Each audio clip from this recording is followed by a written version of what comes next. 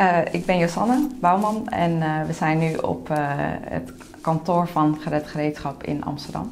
In eerste instantie sprak de vacature me aan vanwege het werken met beeldmateriaal. en qua GG leek het me een hele leuke organisatie met een praktisch doel.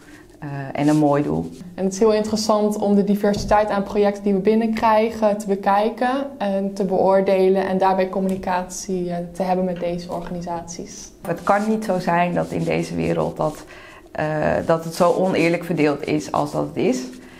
Uh, en ik wil gewoon graag mijn steentje daaraan bij blijven dragen om, om daar verandering in te brengen. Wil jij studenten en startende ondernemers in Afrika helpen een zelfstandig bestaan op te bouwen, te leren en vakmanschap te ondersteunen? Kom dan werken bij Gered Gereedschap.